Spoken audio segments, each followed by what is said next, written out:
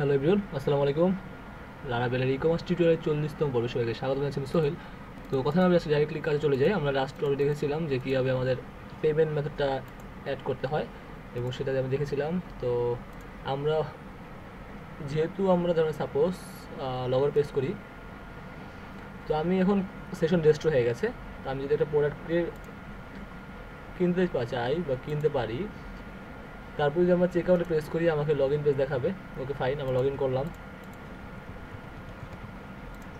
Log in করার পরে যে আমাদের শিপিং পেজ দেখাচ্ছে, সেটাও মানলাম।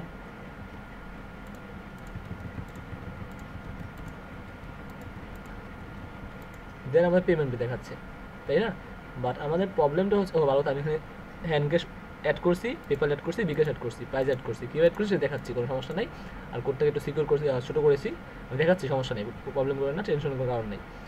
সো আমি আবার এখানে দেখেন আমরা দেখেন এখানে ক্লিক করি, আবার যখন আমরা চেক করে প্রেস করছি, আমার শিপিং পেজ দেখাচ্ছে। আসলে এটা খুবই বিরক্তিকর জিনিস এবং এটা হওয়ার, এটা হয় না নর্মালি তাই না? তো আমরা যেহেতু শিপিং পেজ একবার দিয়ে দিয়েছি, আমরা আবার কেন শিপিং অ্যাড্রেস দিব? আমরা ডাইরেক্টলি পেমেন্ট সিস্টেমে যাওয়ার কথা।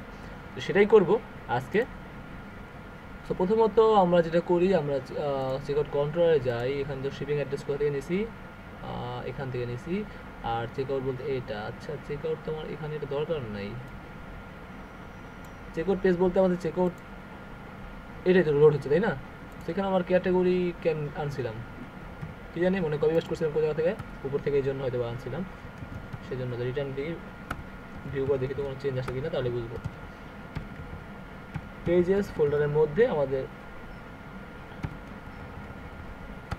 ওকে পেজেস ফোল্ডারের মধ্যে আমরা লোড করে দিব হচ্ছে কি কোন ফাইলটা আমরা লোড করে দিব হচ্ছে চেক আউট ফাইল আর সিকে ওই চেক আউট ফাইলটা নাও যদি আমি লোড করি,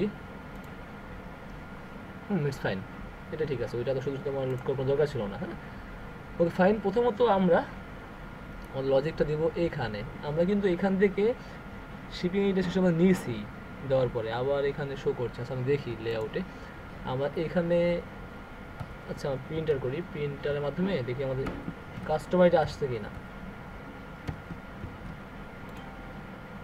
জাস্ট লোড দিই তো। হ্যাঁ দেখেন কাস্টমার চলে আসছে, চার। আমরা সেমভাবে আমি আমার শিপিং আইডিটা লোড দিই এটা কি আসবে? দেখে নিয়ে আসে কি না আর আগের দিন সময়ের জন্য আমি সময় পাচ্ছিলাম না, পরে আমি ওদের না করে চলে গেছি আর কি এখানে রাডারি করছিলাম। আর মাথা গরম ছিল এই জন্য আর কি। সে বলতেছে undefined variable shipping ID okay তাহলে আমরা যখন শিপিং আইডি দিব তার মানে হচ্ছে চেক আউট কন্ট্রোলারের যেখানে শিপিং অ্যাড্রেসটা দিব, তখন শিপিং আইডি পাবে, তাই না? সো শিপিং আইডি যখন দেয়, তার মানে আমার শিপিং আইডিটা পেতে হবে। আমরা এখানে সেশন পুট করছি, তো আমরা এক কাজ করি এখানে যদি সেম জিনিসটা কপি করি। কপি করে পেস্ট করলাম ভিডিও চালু হচ্ছে হ্যাঁ। এখানে যাতে বললাম shipping ID not customer ID সেটা তো নিলাম আর কি। শিপিং আইডিটা যদি নেই হ্যাঁ সে কিন্তু পাচ্ছে, দেখেন, নয়। শিপিং আইডি নয়, আমরা একটু আগে দিয়েছি। সো একটু যেটা দিচ্ছি আর কি শিপিং আইডি ক্রিয়েট করি। হ্যাঁ শিপিং আইডি একটু যে দিলাম আর আমরা। ওইটাই আছে স্টোরেজে সেশনে তো এখন আমরা লজিকটা একটু চেঞ্জ করি। যদি কাস্টমার আইডি নাল না হয়, এবং শিপিং আইডি শিপিং আইডিটা যদি নাল হয় ওকে একটা কাস্টমার আইডি নাল হয় নাই শিপিং আইডি নাল হয়েছে, তার মানে শিপিং আইডি কাস্টমার আইডি আছে, তার মানে তাকে পাঠিয়ে দাও চেক আউটে ওকে আমরা এখানে এলসিপ নিয়ে যাব, আবার ইফ দিই, আমরা ইফ কন্ডিশন আবার দিই, সমস্যা নেই, এবং এখানে সেম জিনিসটা আমি বললাম কন্ডিশনটা বলে দিলাম, যে যদি আমার এখানে কাস্টমার আইডি নাল না হয় এবং শিপিং আইডিও নাল না হয়, তার মানে কি, আমি কাস্টমার আইডিও দিছি শিপিং আইডিও দিছি, আমাকে পাঠিয়ে দিব হচ্ছে পেমেন্ট পেজে ডাইরেক্ট পেমেন্ট পেজে রাইট আর যদি একটা না থাকে দ্যাটস মিন এলস সো তখন আমাকে পাঠিয়ে দিবে হচ্ছে গিয়ে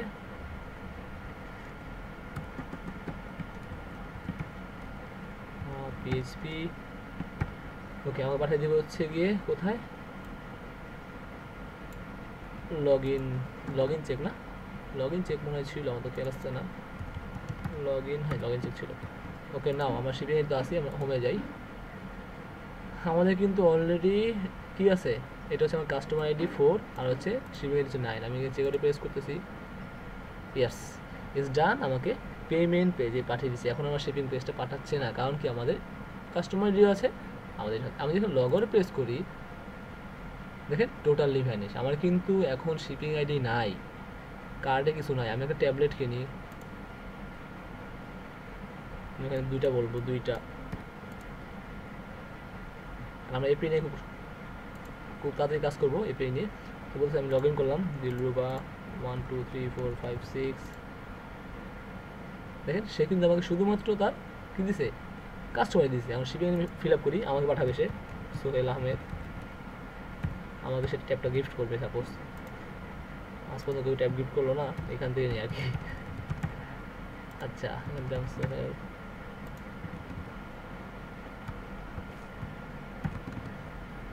অ্যাড্রেস এটা হবে অ্যাড্রেস মোবাইল নাম্বার হচ্ছে আমারটা zero one nine six one three six three five four three three six three five four three আর সেটা হচ্ছে ঢাকা। ডানে প্রেস করলাম, সে আমাকে কী করল? এই দেখেন, দশ, তাই না? তো পেন মেথড আমি আবার হোমে যাই। নাও চেক করে প্রেস করি years is totally fine so কাজ করছে আমাদের, এখন আমরা এটা মুছে ফেলি কারণ এটা লাগবে না।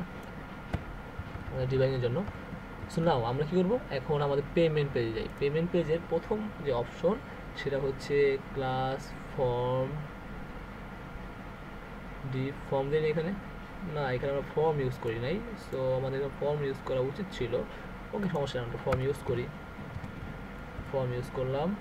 কারণ আমরা সাবমিট করবে তাই না? সো এই ডিপ শেষ হচ্ছে এইখানে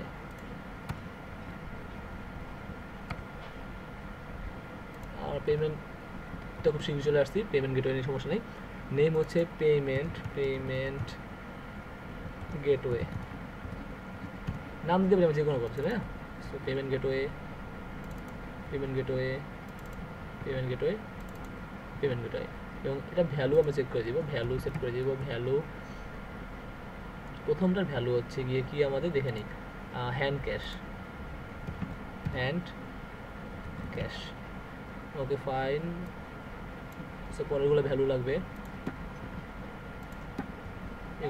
এগুলো আমরা ডাটা বেজে স্টোর করব টেনশন কারণ পরেরটা হচ্ছে গিয়ে PayPal bKash Payza. PayPal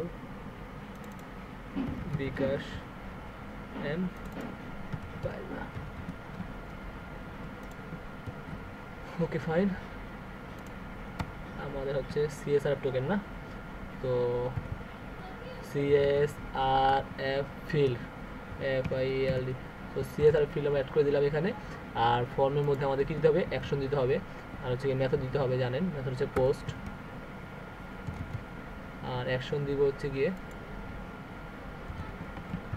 আমরা এখানে সেন্ড করে দিই জাস্ট ইউআরএল এবং সেখানে জাস্ট পাস করে দিব হচ্ছে কি যে কোন ফাংশনে যাবে? বললাম হচ্ছে order place order place okay order place রাউটে যাবে।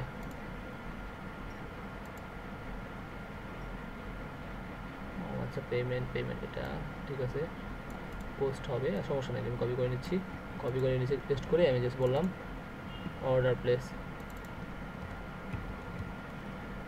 order PL ACE but ওখানে মেবি আমি দিয়েছিলাম কি? অর্ডার প্লেসটা ছিল না, এটা ছিল। ওকে অর্ডার প্লেস এগুলো, এটা হচ্ছে পোস্ট সো অর্ডার প্লেস ফাংশনটা তৈরি করে নিই চেকআউট কন্ট্রোলারের ওকে, এখানে নিই। পাবলিক ফাংশন আর এপিআই ইউজ করব না, তখন হচ্ছে এটাকে আমাকে একটা ফাংশন ইউজ করতে হবে। কারণ ওটা অনেক বড়ো থাকে তো ফাংশন হিসেবে আমার ইউজ করতে হবে।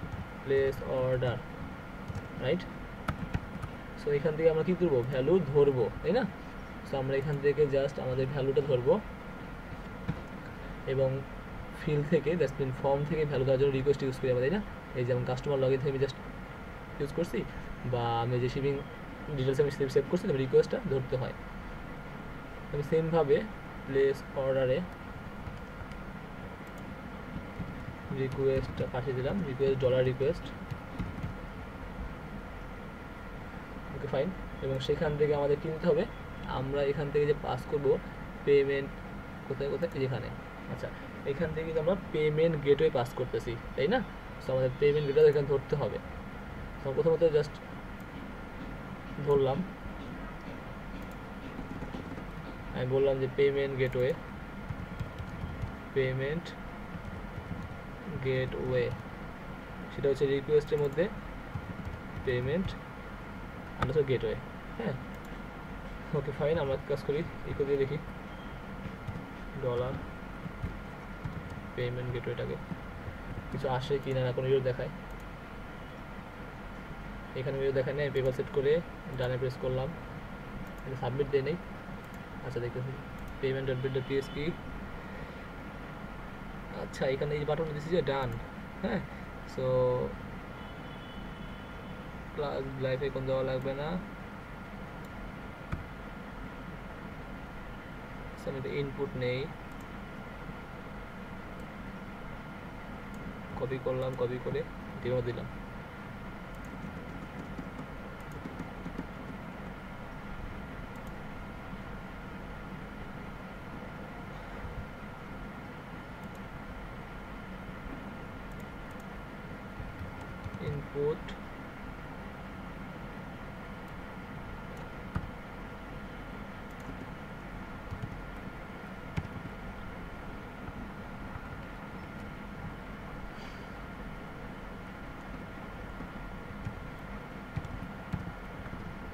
টাইপ দিলাম সাবমিট এবং ভ্যালু দিলাম হচ্ছে ডান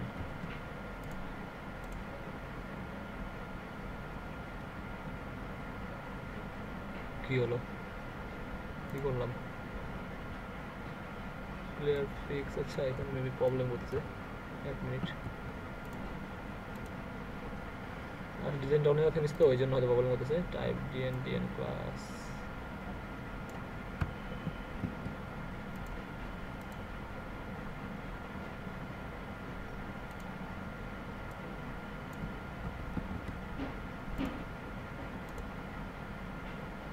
আসছে। তাহলে এখানে ইনপুটটা আসছে কেন? ডিফ আচ্ছা ফর্মটা একটা কাজ করি। এখানে নেই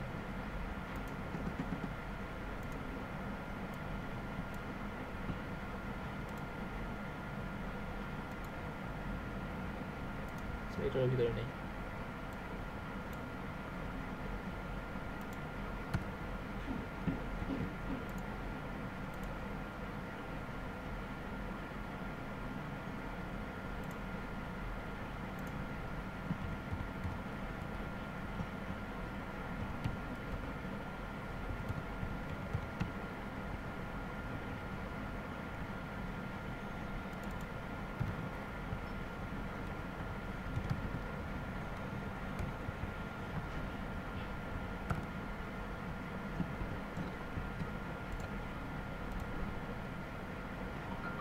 okay now it's work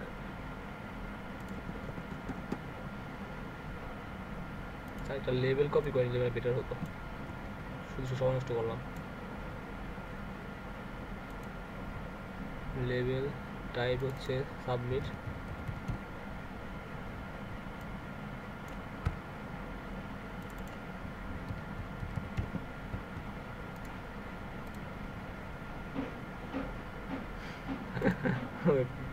ক্লাসটা হয়ে গেছে আর কি। লেভেল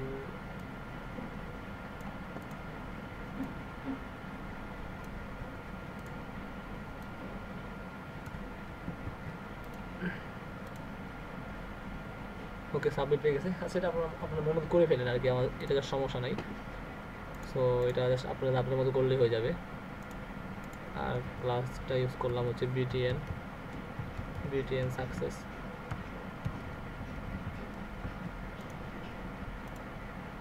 এটা আপনারা আপনাদের মতো সাজাই হ্যাঁ? পেপার সাবজেক্টে ক্লিক করলাম, আমি জাস্ট পেপারে ক্লিক করে সাবমিটে প্রেস করে দেখি আসে কিনা।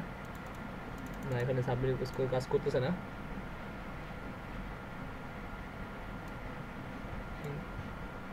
ফর্ম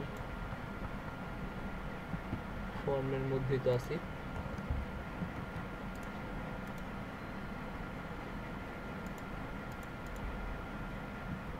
সো গাইস আমরা করেছি যে আসলে এটা নামানো ছিল তো কোডটা, তাই হয়তো বা কাজ করতেছিল না। আসলে ফর্ম গ্রুপ দিলে এখানে বাটন পে সাবমিটে প্রেস করলে আর কি কাজ করে না। তো নর্মালি আপনারা আপনার মধ্যে ডিজাইন করে নিন আর কি আমি জাস্ট দেখে দিলাম।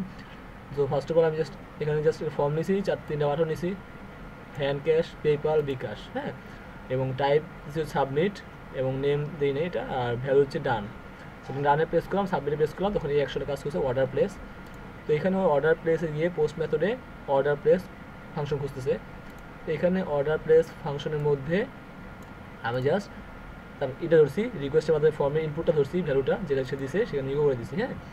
সো নর্মালি জাস্ট আমি যদি এখানে লাইক আমি চাই হ্যান্ড ক্যাশ করব, তো হ্যান্ড ক্যাশ প্রেস করলে ক্লিক করলে একটা ফাংশন কাজ করবে। এটা নর্মাল ফাংশন এটা এপিআই না। এবং বিকাশ আর পেপাল হচ্ছে যখন প্রেস করবে, তখন সেটা এপিআই কাজ করবে। তার মানে কি? আমরা এখানে এপিআই ইন্ডিকেট করব এপিআই ইউজ করব। বাট হ্যান্ড ক্যাশে এপিআই ইউজ করব না। এখানে নর্মালি ফাংশনের মধ্যে জাস্ট মডেল ইউজ করব যে হ্যাঁ আপনার কনফার্ম হয়েছে আপনার অ্যাকাউন্টটি বা আপনার অর্ডারটি আমরা সাথে আপনার সাথে যোগাযোগ করব। আর এখানে বিকাশের ক্ষেত্রে আমরা পেপার পেপাল এবং বিকাশের ক্ষেত্রে আমরা এপিআই ইউজ করব, সেটা হচ্ছে এস এস এল কমার্স বাংলাদেশের জন্য পেপাল পেপাল না, বাংলাদেশের জন্য ই কমার্স যে বেস্ট একটা এপিআই সেটা ইউজ করব। তো, খুবই দুঃখিত, এটা কাজ করে না আসলে, আমি এটা নিয়ে ঘাটতে পারছি না, সময় পাচ্ছি না, আমার একটা কাজ আছে হাতে অনেক। একটা প্রজেক্ট করতেছি তো, বড় প্রজেক্ট ওটা নিয়ে কাজ করতে হবে, এটা সময় নষ্ট করব না। আর টিউটোরিয়াল শেষ করে টিউটোরিয়াল সিরিজটা শেষ করতে হবে, এরপর কোনো টিউটোরিয়াল বানাবো না হয়তো বা এ- এইটা লাস্ট সিরিজ হয়তো বা আমার ইউটিউব চ্যানেলের শেষ হয়তো হতে পারে হয়তো বা যাই না যাই হোক, আমি জাস্ট ফর্মের মাধ্যমে তিনটা ভ্যালু দিয়েছি এবং তিনটা ভ্যালুর তিনটা কাজ আমি নেক্সট ভিডিও দেখা দেবো ইনশাল্লাহ ভালো থাকবেন থ্যাংকস ফর ওয়াচিং